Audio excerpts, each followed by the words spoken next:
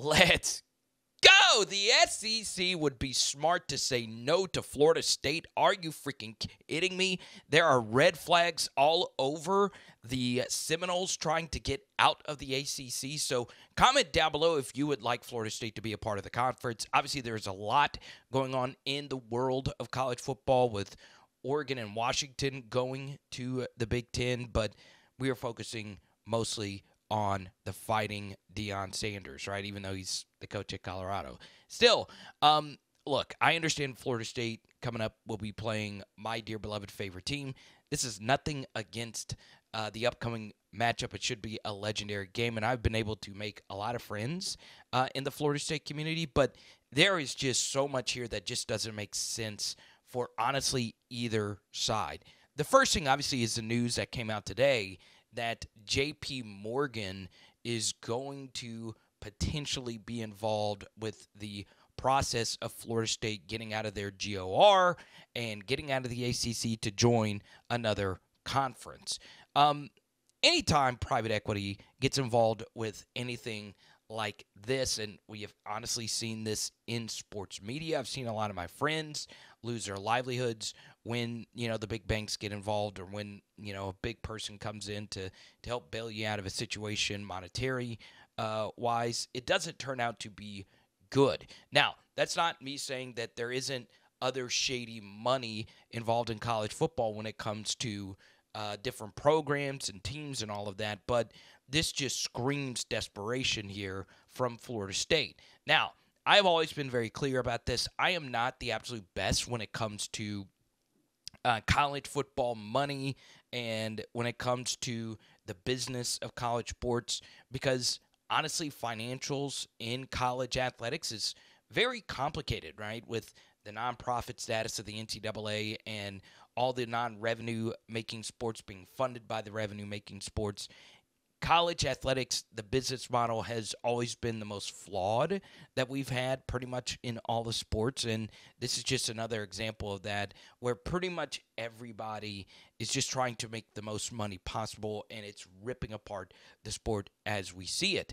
But the truth is, and I'm normally like this with pretty much anything, when you sign a contract, that is the contract, right? And Florida State is locked in with the ACC until 2036. Now, of course, they could buy their way out of it. And of course, there are other teams, not just Florida State, but Clemson that might be looking to bolt. And obviously, Florida State and Clemson would like a bigger piece of the revenue pie because what those two bring in compared to, let's say, a Boston College um, is is it, it pales in comparison, right? In terms of television eyeballs. So still, you know, I understand when it gets into a slippery slope of morality and money and all of that.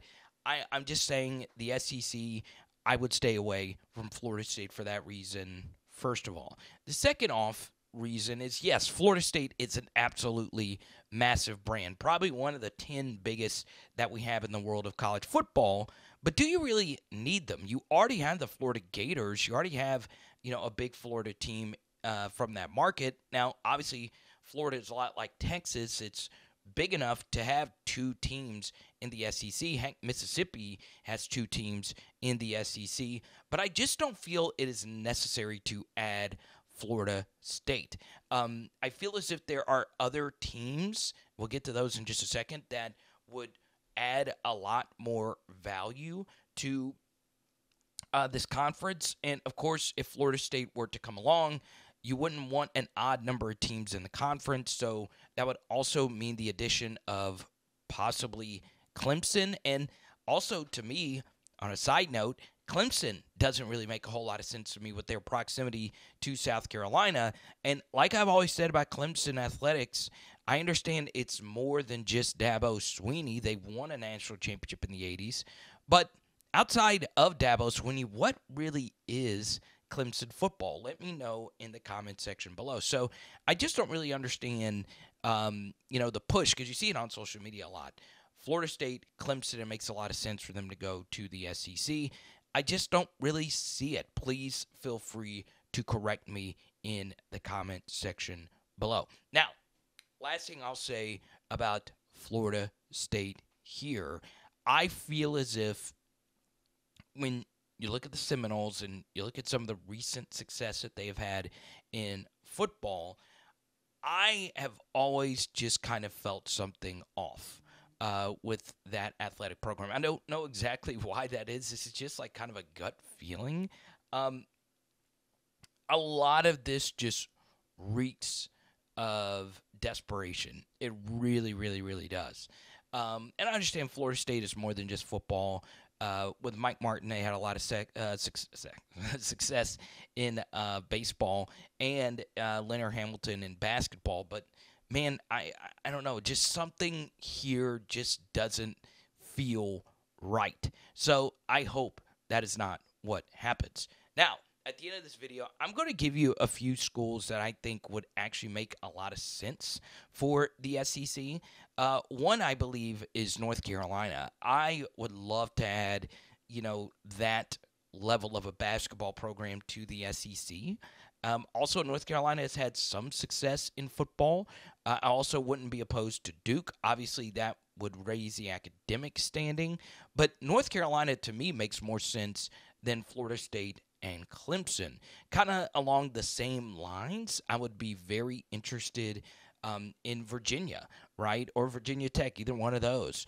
Um, obviously, both of those uh, athletic brands aren't the absolute biggest. And outside of, you know, some good Beamer years at Virginia Tech, what have they really been?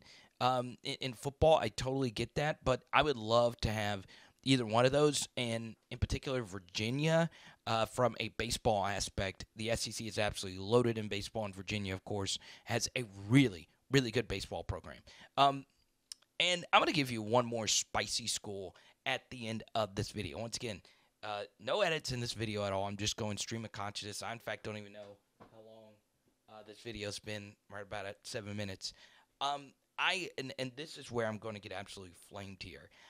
I would not mind Notre Dame. I really wouldn't. I think it would add so much uh, to the conference. Um, I, I, think obviously that would be the most radical addition um, ever in the SEC. Texas and Oklahoma kind of fit the culture of the SEC where uh, Notre Dame doesn't. And I just think, obviously, you know, I have some bias here. I think that would add so much to uh, the LSU side of things with uh, obviously Brian Kelly, and those two schools have played uh, multiple times in the past decade. I would just love it. I really, really, really would.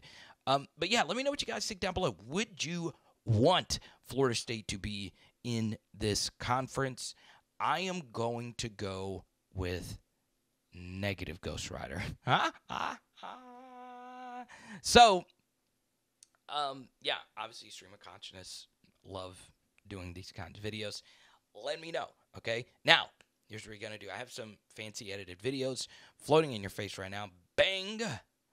The two sleepers in the SEC that could legitimately win the whole conference. And bang, another video I think you would like as well.